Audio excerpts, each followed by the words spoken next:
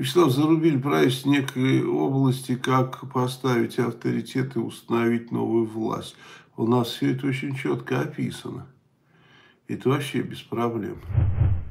Понимаете, когда идет э, вот такое состояние паники, непонимания и так далее, то есть э, тот э, возьмет власть, у кого есть люди, небольшое количество, способные на поступок, да, со дерзость есть, дерзость, чтобы заявить, что ты власть, да, не, не подчинять, за неподчинение расстрел. Все. Вот вы можете расстрелять человека, значит, вы будете властью. Не можете, вы не будете властью, поймите. Ну, там так. То есть, за неподчинение расстрел. Все. Все подчиняются, все подчиняются. Подчиняются тому, кто может их расстрелять. Все, другого варианта нет. Понимаете, когда уничтожается государственная власть, да, остаются только два элемента. Понимаете? То есть вообще существует несколько элементов, да, э, которые, ну, помимо инстинктов человеческих, да, которые движут.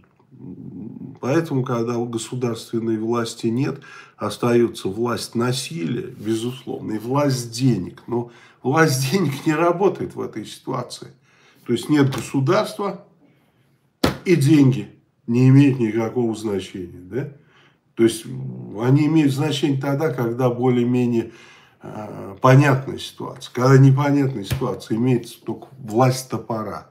Если вы способны эту власть топора реализовывать, да? ну и, конечно, власть инстинктов, в том числе и страха, а власть насилия и власть денег это не одно и то же. Нет. Почему? Если у вас нет, может не быть ни копейки денег, да, при этом у вас есть оружие, да, и группа какая-то серьезная. Это не власть денег.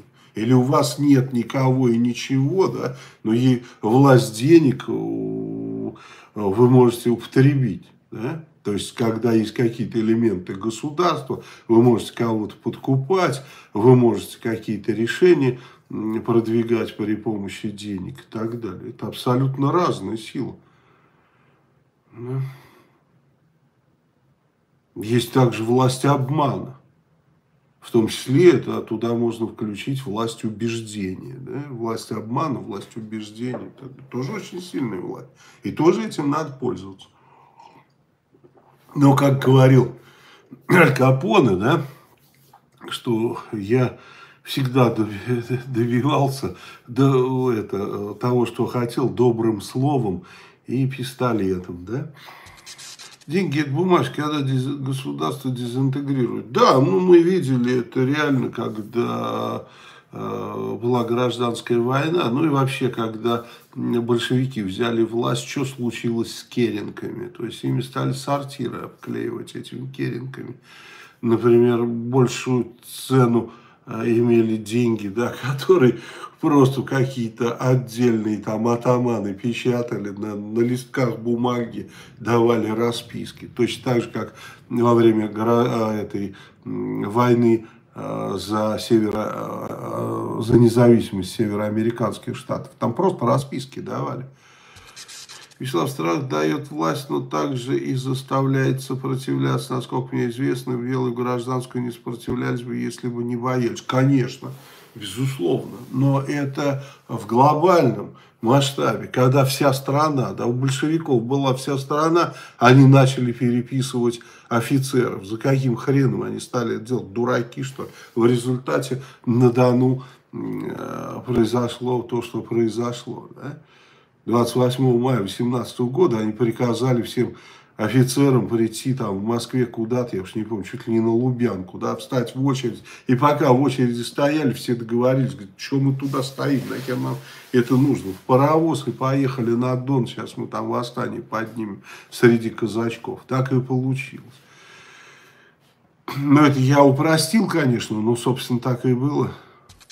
Вячеслав, как быть, если я один на тысячу готов поставить свое дело, но меня из страха никто не поддержит? Да нет, ну что Наверняка масса людей, которые тоже готовы, если вы будете очень упорным. И, кроме всего прочего, э, в вашем регионе масса наших соратников. Мы просто вас не объединяем по причине того, что ну, чтобы не спалил ФСБ вас. Вот и все. А это будет объединение, уже будет открыто, можно сказать. Мы мальцевские, там, там номер 35 и все там. Знаете, сколько их будет?